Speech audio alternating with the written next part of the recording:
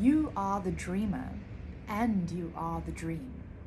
And I feel the Holy Spirit Mother is calling us each to dream a new world, dream our passions, our visions, a new earth into being. Um, in Hindu mythology, which is very ancient and science and quantum physics is still catching up to Hinduism and what the mystics have written about the nature of consciousness and reality. And it's being continuously verified by science that yes, this is actually how it works. But in Hinduism, there's a mythology of Brahma, the creator, who is dreaming all of this into being. And it's also said by some Gnostic shamans that we are part of Sophia's dream body. This is a dream that we're a part of, and we each know what it's like to dream. It's the most human, common human experience, right? We all sleep at night and we know what it's like to dream. Um, and that's such an innate part of what it is to be human. So, why wouldn't that roll out into our everyday material reality? Um, and I've taken a few, a few notes, right? And it may not be seen, but the structure of matter, waking matter, this book, this table, is as fluid as one's own dreamscape. Um, both are products of energy coursing through the, the brain, the interplay of matter and energy.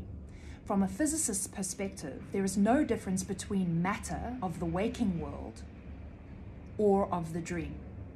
They are the same thing. Right? And there is no dream without an active mind.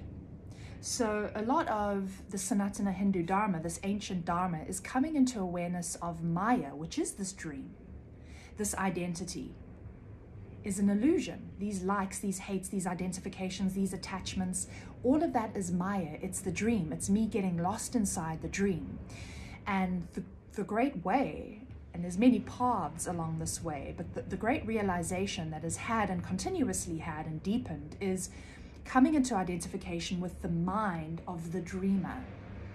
The awareness of what nothing and everything, the point of presence behind the dream. Right.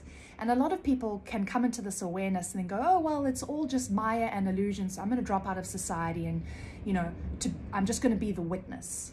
But I think that the, the great play and the great opportunity that we have in this life, the Hindus also say that this, this world is, well, some Hindus, there's so many schools of thought in Hinduism, that this is the mother's play. It's her great lila. And when we become aware that this is a dream, well, then, how then can we bring our own minds, bring our own visualization and imagination into manifesting the dream that is in our own hearts? So, another thing I want to say is um,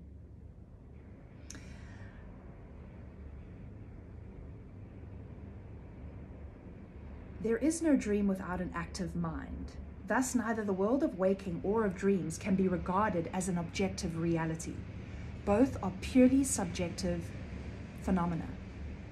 So, your waking life is coming out of your own mind and being. It's not an objective thing occurring to you, it's a subjective thing emanating out of you. Um, and this is why we are all Brahman we are all the Atman. We are all the eyes of God. If we can realize that, if we can realize that reality isn't happening to us, we are happening to reality. Um, quantum mechanics also states that energy only coalesces into matter as we focus on it. Right? So our lives materialize depending on what our minds are focusing on and what our minds have agreed to, what our minds imagine our life entails each day. And there was um, a study done, an fMRI exam of lucid dreaming in 2011 at the Max Planck Institute. And it showed that when one clenched a fist in a lucid dream, and when one clenched a fist in this material reality, the exact same brain activity occurred. The same brain activity occurred in the dream as it did in reality.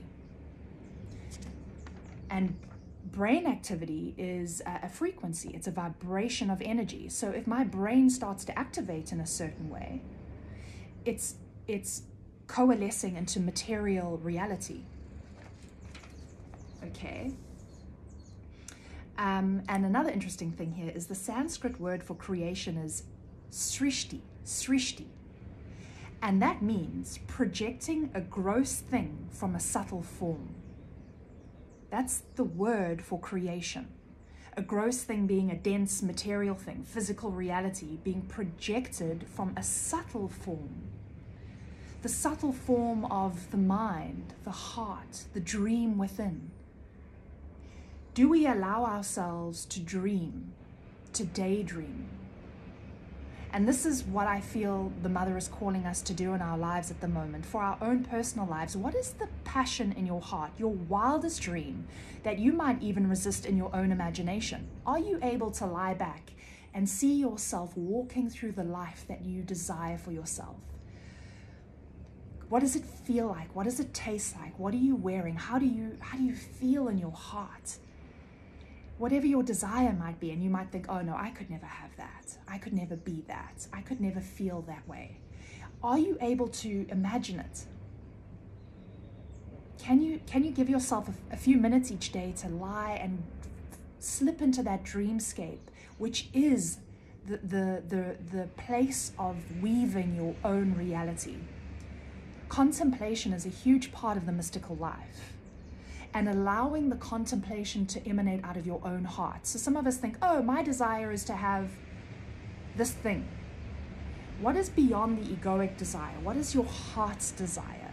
The thing that we might have kept away from ourselves. Oh, I can't be an artist. I can't do that. I can't live in such a such a way, you know, but I kind of wanted, I really wanted deep down. That heart passion, that deeply felt dream and desire was put there in you on purpose, and your passion, your heart's desire is the mother's heart. They're the one and the same thing. And when we live in our own heart's desire, we have feeling, right? We have feeling when we imagine ourselves in that space. And that feeling, that emotion, energy and motion, is what starts to emanate into the electrical magnetic field and create the reality. The heart has a much more powerful Uh, electromagnetic field than the mind. It's huge. So, can we dream and imagine? Can we expand in our own minds and hearts and allow ourselves to contemplate that space for our personal selves and for Palestine? I'm spending some time just feeling into that place and dreaming plants and connection and peace and restoration and homes growing and orchards growing and people living and community and I'm dreaming uh, this this vision across the earth, not just for Palestine. So many places are occupied, right, and hurting. I'm seeing the light move everywhere in this communal-based, mutual respect, equanimity. I'm just letting my mind play and paint and paint and paint. And I'm, I, I want to be part of collective, the collective dream and if we can we can allow ourselves to dream in this manner for ourselves and the collective, it will manifest. We've had our wisdom hijacked from us. And so we get told what the objective reality is. We, we're told that this is reality and it's happening to us. Because we've forgotten that we are the weavers. This is the mother's wisdom. We are the weavers, and it starts in the subtle form, srishti, projecting a gross thing projecting the material thing from a subtle form, the place of dream and play and imagination. One thing I also wanted to say is uh, here's a note here in Western religions, a creator God precedes man and the universe. But in, but in the East, which is far more ancient, Hindu gods are preceded by creation. Creation was there in the beginning, then come the gods. There is nothing above creation. And the origin of the world is not envisaged so much as an act of creation, like let there be light and now the world, you know, like in Western religions. It's not like that. It's not an act of creation, but it's one of organization, the making of order out of chaos. It's it's it's um, born from the sacred syllable Om. Um, or from an inert void in which there was neither being nor nothing, nor non being, death nor non death. A single principle from which emerged the diversity of life. From this void, desire was born. And from desire came humans, gods, and creatures. So, from desire, it even says this in the Rig uh, Veda about in the beginning, desire which was the first seed of mind, uncovered it. That's what it says. And we see this as well in the Gnostic scriptures. Sophia desired. So, what is the heart's desire? What do you desire? What is your passion? That is the actual impetus of life. There is nothing, there's, no, there's, no, there's neither death nor non death, being nor non being. There is just this possibility, this void. And the void is animated or, or form comes into being, matter coalesces out of desire, out of passion. What does your heart bleed for? And can you allow yourself to play, even you might not have it right now in front of you, but we are allowed to, and I'm encouraging us to dream this into being. Can we dream together? Can we dream our own passions into being? Go there, play. I'm having fun in my imagination. And I'm dreaming about, oh, this whole beautiful system of different cultures, total respect, sacred ecology, sacred economy, peace across the earth, Palestinian life and revival for the Sudanese, for the Congolese, for the Americans. I'm dreaming your your whole system into wellness as well my whole system here at home, all of us need help. We're all throttled by this colonizer. And of course, the Palestinians are, are the ones showing us right now, and, and, we've what we've witnessed a crucifixion. We've witnessed a crucifixion. We've witnessed a crucifixion.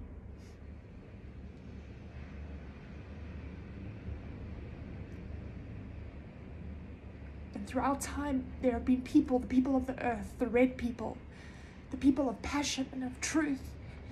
Many people and cultures have taken it on their bodies for us. They have they have bled and died for us.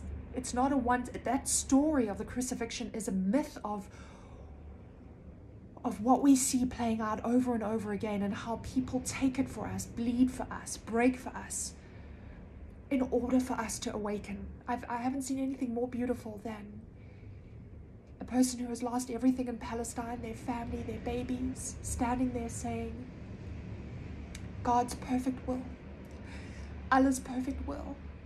Allah is my provider. Allah, Allah, Allah. This deep awareness of even in this total destruction of their own bodies, that the Creator is doing something quite beautiful through them. How beautiful is that? The Creator is breaking open a new dream. And, and blood comes with the birth.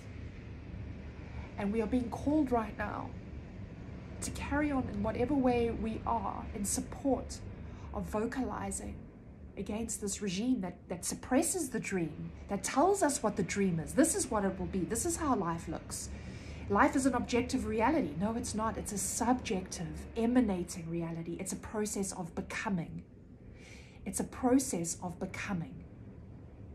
It's not separate entities and objective. It's a process of becoming, and it becomes from the, the, the passion and the beauty and the, the place of the dream and the imagination.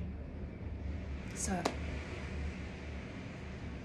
encouraging everyone to, to dream your dream and dream the collective dream together. Just take a few minutes each day to sit and see it and feel it. Sending love.